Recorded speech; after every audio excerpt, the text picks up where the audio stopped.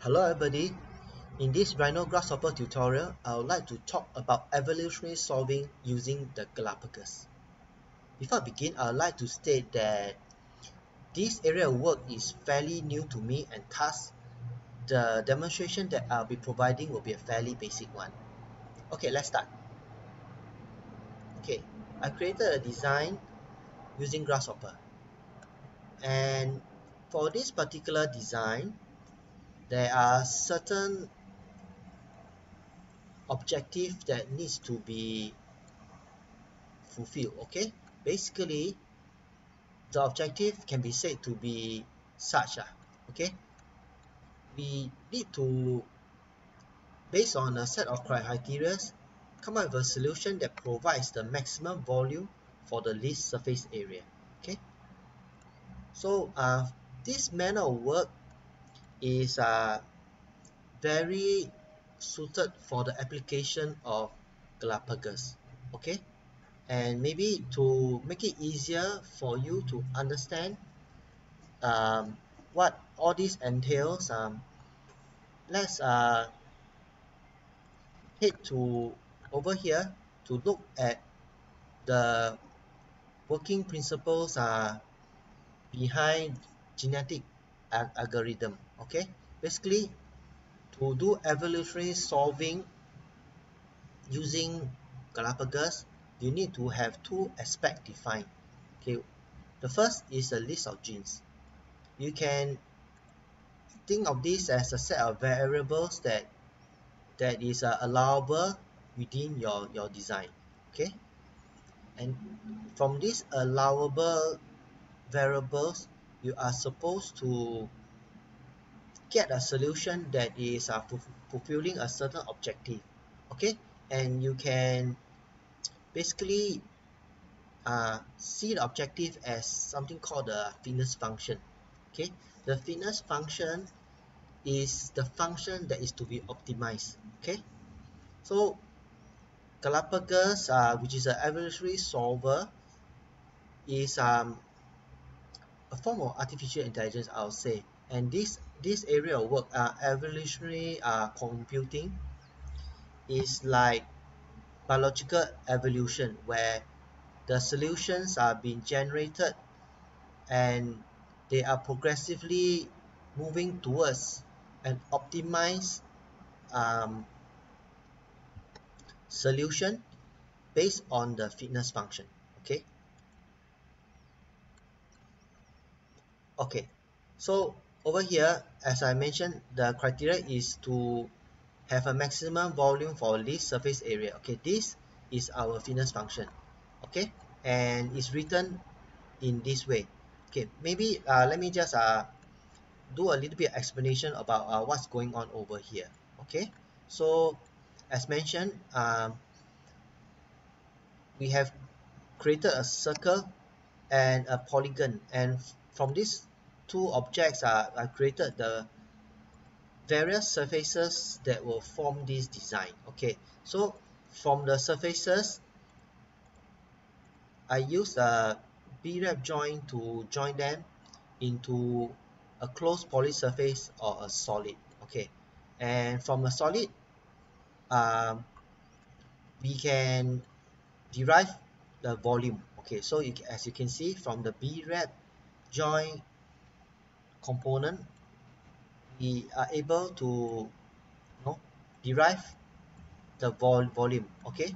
And also from this uh, B-rep joint component we are also able to derive the total surface area and it is being shown here. Basically this B-rep joint connects to an area component which will calculate the areas that are um, from the three surfaces and then I use a mass addition to add up all the areas okay into the total surface area okay?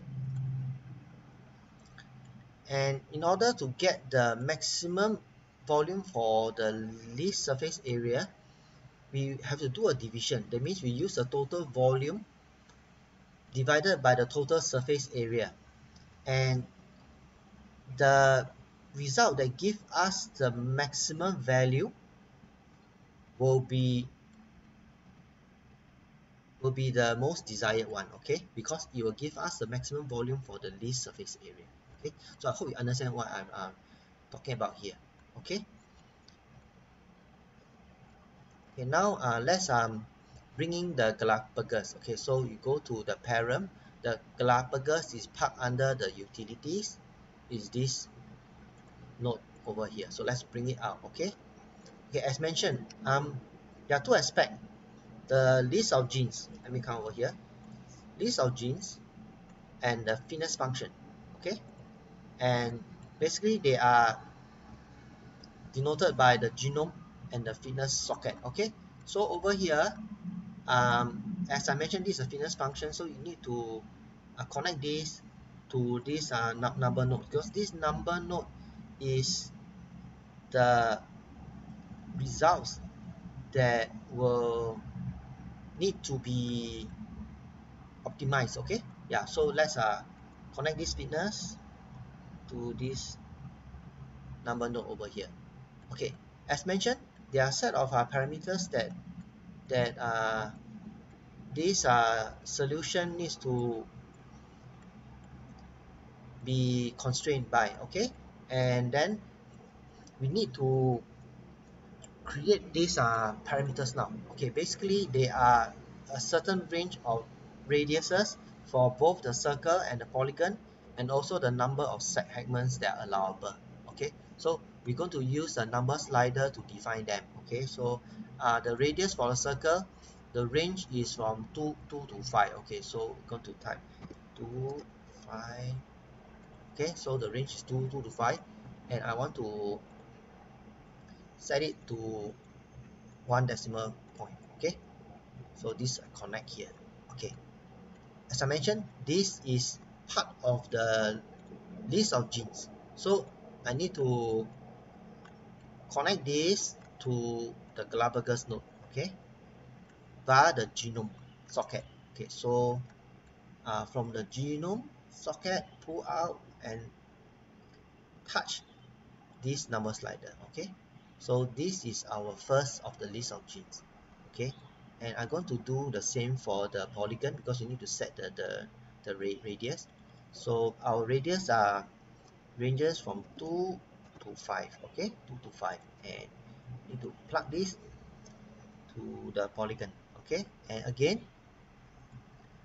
this is also one of the list of genes. So I need to connect this to this. So as this is an additional connection you need to press and hold the shift key to do the connection. Okay so you can see now we got two. Okay there's another variable that is needed. It is the segments. That means the number of segments of the polygon. So the number of segment in our case is uh, 3 3 to 5 so 3 to 5 okay. And for this it cannot be a floating point because you cannot have flow floating points for the segment. So you will just leave it as an integer. Okay so do a connection here. And sorry for this I also need to change it to a floating point. Okay so okay yeah. So okay this is going to be one of the list of gene as well. So pull this out press and hold the shift key and connect down. Okay so you can see now we have three list of genes. So I'm going to label them as uh, list of genes.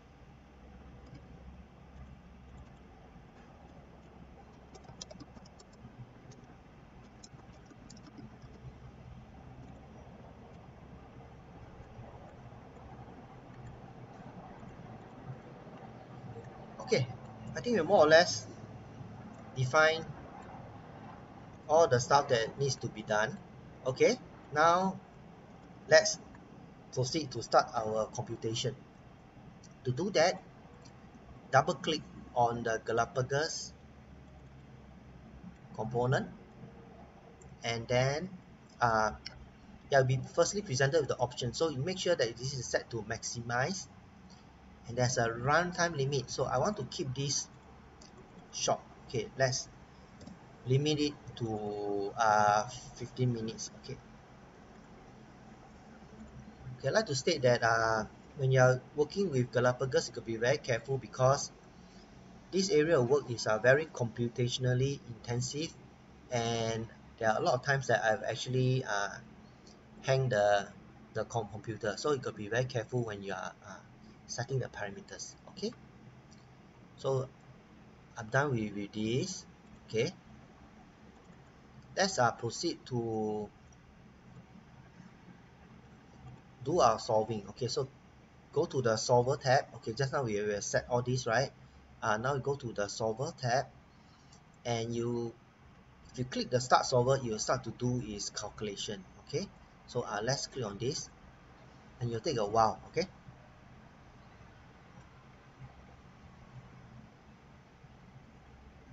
as you can see on the screen the software is calculating the various solutions okay?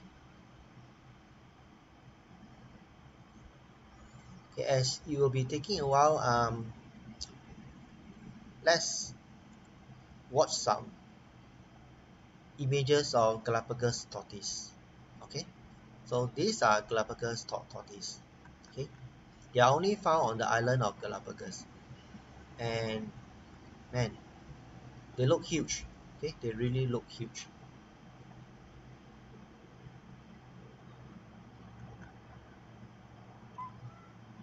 This guy looks quite hungry.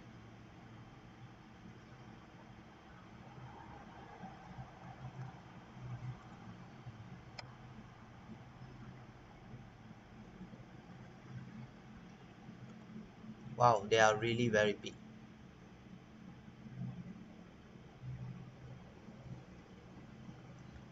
let's head over to grasshopper rhino to see whether it has finished or no. Okay so it, uh, the results are not showing yet so I think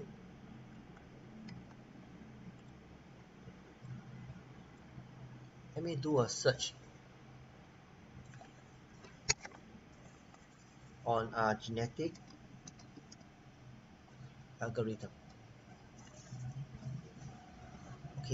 if you are keen to know more about evolutionary solving and this area of work you might want to you know uh, research this topic called uh, genetic al algorithm okay?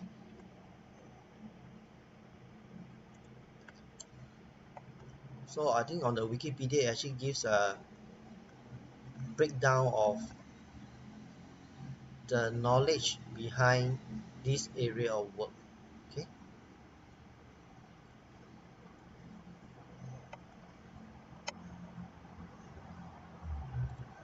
okay. We have uh, got some solutions okay? And these are the solutions that has been created okay? Um the solver is still running so it will progressively optimizes the solution. But I think I will just stop it for for the mo moment okay? Because um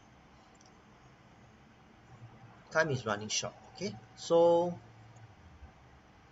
okay these are the solutions provided. You can see that the num number uh, gets progressively bigger. Okay you can see the number gets progressively bigger. And this is our most optimized solution based on the time that we're given it. Okay and over here there are other solutions. So for example let's say you want to see this solution you can click on it okay? You can click on it and click the reinstate okay? And we will be able to see this solution okay? This is the solution corresponding to this uh this uh value over here okay? But we want the optimized solution so it will be uh this one okay? The, the this the highest value okay? So uh, I'm going to reinstate this okay? Click this okay? So yeah so this is the given the amount of time that uh, was being provided this is the optimum solution. So if you're happy with this you can just click the OK. And you can see that yeah for that particular solution these are the values for the list of genes. Okay? So these values are providing us with this solution. Okay? With that I come to the end of this demo hope that's been useful for you. See you around. Bye